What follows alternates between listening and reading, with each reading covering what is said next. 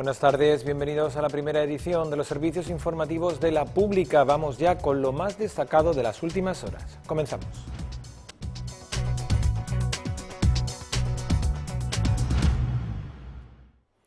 Más de 200 inmigrantes subsaharianos han logrado acceder a Ceuta esta madrugada después de asaltar la frontera en una actitud hostil y agrediendo incluso a los guardias civiles según la propia delegación del gobierno.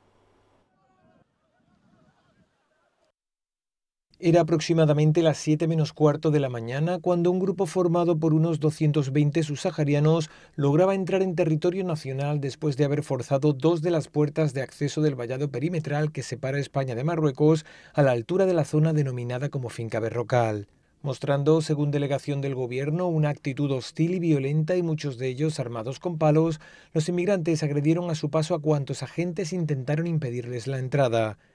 Como consecuencia de esta acción, tres agentes de la Guardia Civil tuvieron que ser atendidos por heridas de diversa consideración. Cruz Roja colaboró in situ en la primera atención a los asaltantes. El herida de inmigración, que como ya todos sabemos es un equipo de respuesta inmediata en emergencia, ha sido movilizado por la Guardia Civil, activado por la Guardia Civil, mejor dicho, alrededor de las 7 de la mañana. Se han desplazado cuatro ambulancias, dos vehículos de transporte, un vehículo de coordinación y alrededor de entre 20 y 30 voluntarios, todos técnicos en emergencia y enfermeros, enfermeras. A partir de ahí, y son cifras muy provisionales lo que tenemos, se han atendido a más de 250 personas. Por su parte, un total de 32 inmigrantes fueron trasladados al hospital por los servicios sanitarios con heridas de pronóstico leve. Se está trabajando con, con el INGESA para evitar el colapso eh, de las urgencias. Estamos, eh, como siempre, trabajando coordinadamente también con el CETI para buscar una solución eh, que sea lo más fácil porque eh, bueno, son muchas personas las que han entrado a la vez. A lo largo de la jornada de hoy, las fuerzas y cuerpos de seguridad del Estado aún intentaban localizar a algunos inmigrantes de los que han logrado acceder y que se encontraban ocultos por los montes de la ciudad. El destino de todos ellos es en principio el CETI. Emotiva despedida la que brindaron este fin de semana en el acuartelamiento Coronel Galindo, familiares, compañeros y autoridades al capitán Sergio Barreda Peñas, que como les informábamos el viernes, falleció de muerte súbita en García Aldave cuando realizaba una marcha de endurecimiento en una prueba de unidad. El acuartelamiento Coronel Galindo acogió el funeral del capitán Sergio Barreda Peñas, de 39 años, fallecido el pasado viernes de un infarto mientras participaba en una prueba de unidad de endurecimiento. El teniente Gómez de Salazar impuso la cruz al mérito con distintivo amarillo al militar fallecido, ante el dolor de la viuda y familiares. Estuvieron presentes en el emotivo acto el comandante general de Ceuta, Javier Sancho Cifre, el presidente de la ciudad, Juan Vivas, y el delegado del gobierno, Nicolás Fernández Cucurul, así como los jefes de unidades y organismos de la guarnición, además de una comisión representando a todas las unidades y regimientos de Ceuta. Formaron en el patio de armas escuadra de gastadores, banda de guerra de Montesa, banda de música del batallón del cuartel general, plana mayor y servicios y el escuadrón de carros ligeros. El coronel Plaza recordó la figura del capitán Barreda y su compromiso con España. Sé que de poco consuelo os puede servir el pensar que Sergio falleció ayer haciendo lo que a él más le ilusionaba, ejercer su profesión de soldado de España. Tenemos con vosotros una deuda permanente de gratitud por vuestra dolorosa e irreparable pérdida.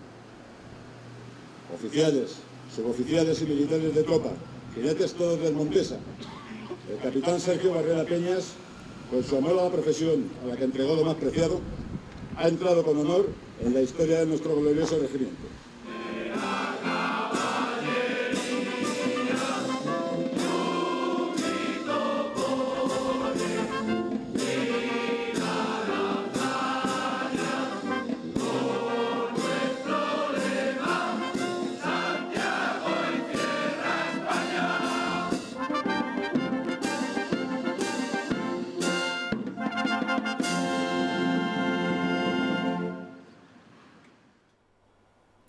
A raíz del fallecimiento del capitán Sergio Barreda durante las pruebas de endurecimiento, la Asociación de Militares de Tropa y Marinería considera que ejercicios tan duros deberían incluir previamente análisis médicos y tener en cuenta las características de cada participante.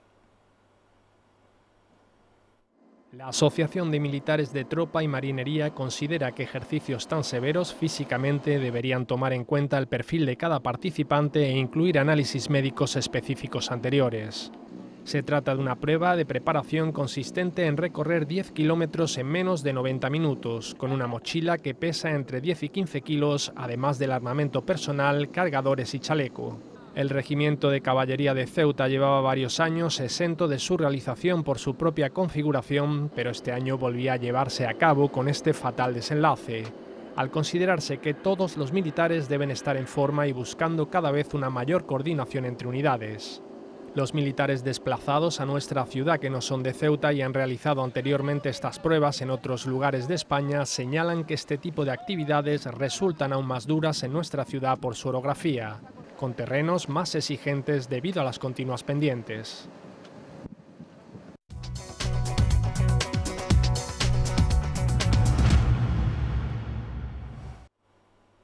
La ciudad autónoma activa a partir de esta tarde a las 5 el dispositivo especial que se ha organizado con motivo de la mochila y que se mantendrá activo hasta mañana a las 20 horas en la zona de García Aldave y Monteacho. Por parte de la ciudad forman parte del dispositivo especial de la mochila Parque Móvil Policía Local 112, el Servicio de Extinción de Incendios y Salvamento 6 y el Área de Coordinación de Emergencias ARCE Protección Civil, Obimasa y Obimace. Además participan la Guardia Civil, la Policía Nacional, Cruz Roja, la Federación Provincial de Asociaciones de Vecinos y la Asociación de Voluntarios de Protección Civil. En el mirador de Isabel II se ubicará el puesto de mando de los servicios de emergencias coordinados por ARCE. También estará Cruz Roja, uno de los retenes de bomberos, los voluntarios de protección civil y las fuerzas de seguridad. En este lugar se han instalado dos tiendas de campaña para la atención sanitaria.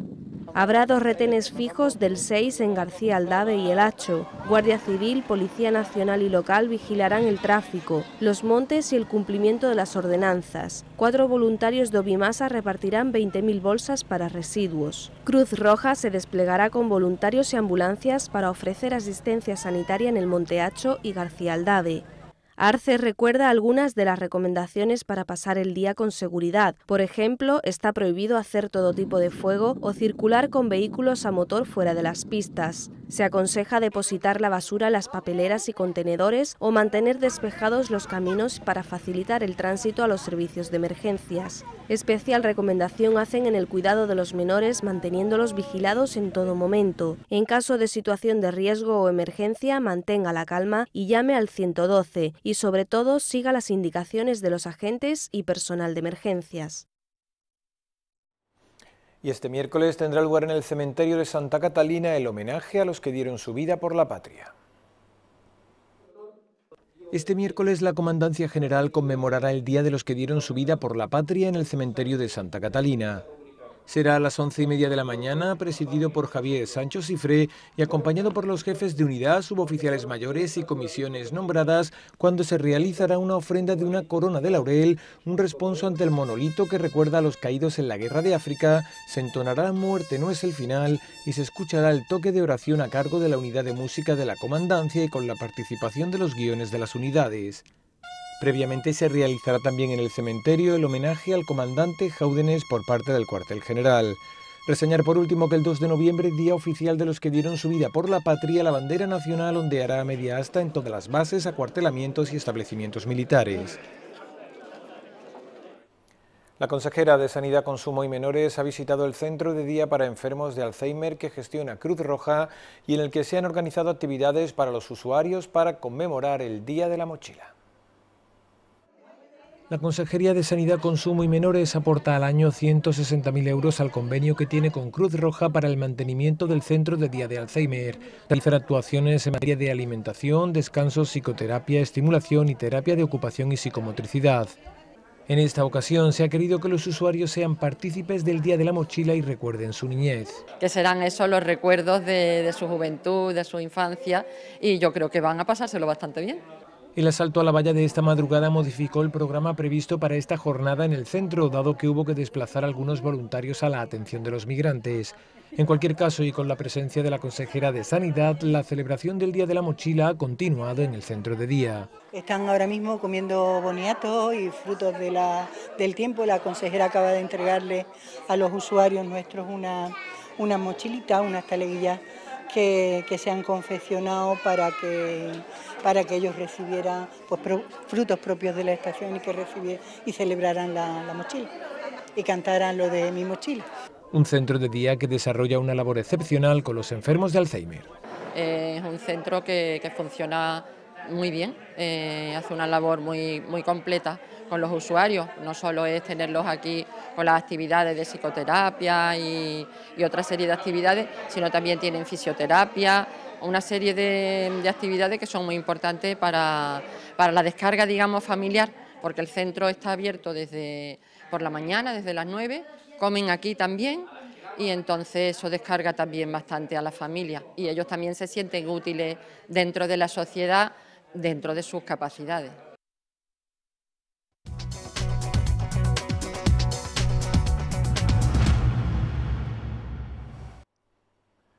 La Biblioteca Adolfo Suárez acogerá los días 3 y 7 de noviembre la tercera edición de las jornadas literarias del Instituto de Estudios Ceutíes, organizadas en colaboración con la Consejería de Educación y Cultura y que tendrán como invitados al poeta y exdirector de la Biblioteca Nacional, Luis Alberto de Cuenca, y la poetisa andaluza Josefa Parra, coordinadora de la Fundación Caballero Bonald. Hemos asistido en la cocina del Parador La Muralla a la preparación del buffet y la comida para la comunidad hindú que se reunió para celebrar el Diwali. Allí el jefe de cocina nos explicó los detalles de unos preparativos que lleva cinco años poniendo en práctica. Carlos Delgado, el jefe de cocina cordobés del Hotel Parador La Muralla, nos detalla el contenido de los numerosos platos que prepara para la comida del Diwali. Un variado buffet con platos fríos que componen un gran mosaico de la gastronomía hindú con mezcla de platos locales.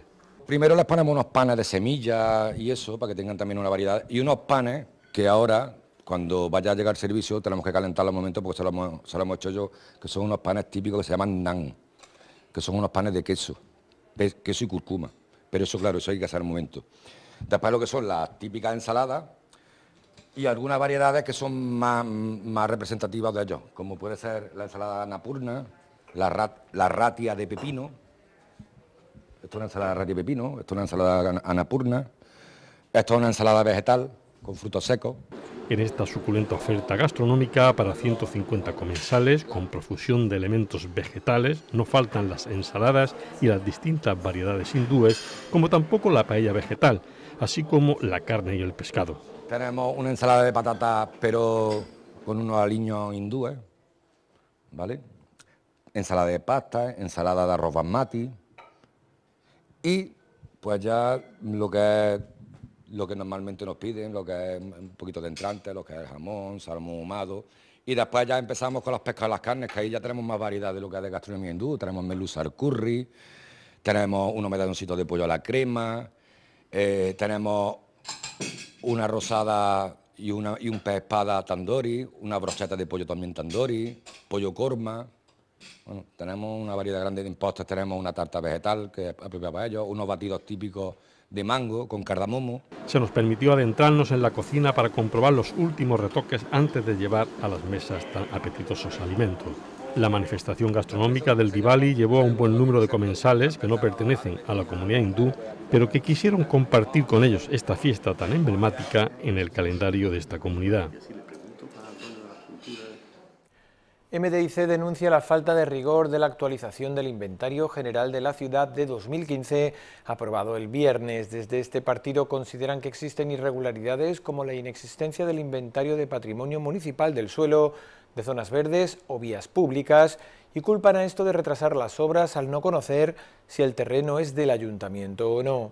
MDIC enumera numerosas irregularidades más que aseguran que cambiaría radicalmente el resultado de este inventario. Y la empresa de alumbrado eléctrico comunica que el viernes se interrumpirá el suministro eléctrico entre las 7 y cuarto de la mañana y las 11 y cuarto de la mañana en el sector de Antíoco que comprende edificio San Luis, calle Antíoco número 17 y calle Millán Astray número 14 con todas las zonas intermedias. Se trata de un corte destinado a trabajos de mantenimiento en media tensión y centro de transformación.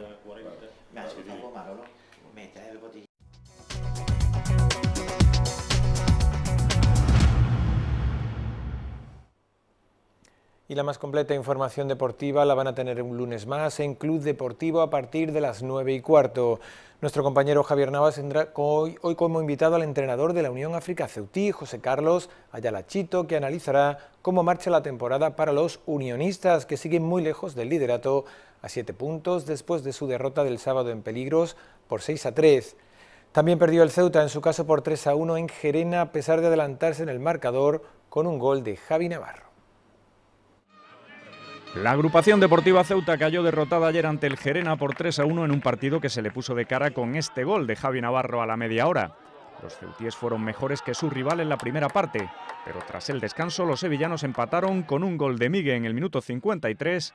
Los ceutíes se quedaron con 10 por la expulsión de Segura en el 61 y el partido dio un giro radical.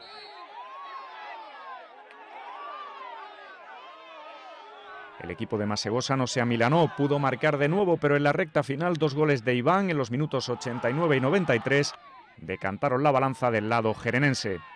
Los blancos se mantienen a seis puntos de los puestos de playoff de ascenso. La Unión África Ceutí, por su parte, sigue a siete puntos del liderato tras perder en la pista granadina del Peligros por 6 a 3 en su segunda salida consecutiva. Los blanquinegros se vieron superados por el ímpetu y la dureza de los locales y por un arbitraje que acabó por desquiciarlos. Los unionistas no aprovecharon la primera derrota de la temporada del Cerro Reyes, que caía en su visita a Litea de Córdoba por 2 a 1. El entrenador del Ceutí, José Carlos Ayalachito, analizará hoy en Club Deportivo cómo marcha la temporada.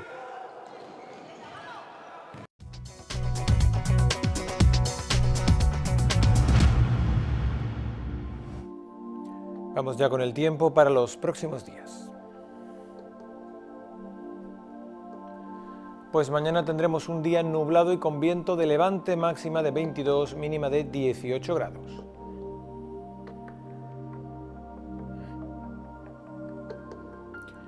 En cuanto al miércoles prácticamente igual, también un cielo cubierto y viento de levante máxima de 21, mínima de 18 grados.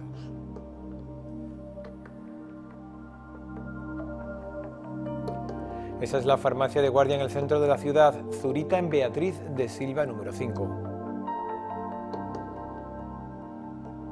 En el campo exterior, la farmacia de guardia es Cruz Blasco en Teniente Coronel Gautier, número 46. Y el 469 ha sido el número premiado hoy en el sorteo de la Cruz Roja.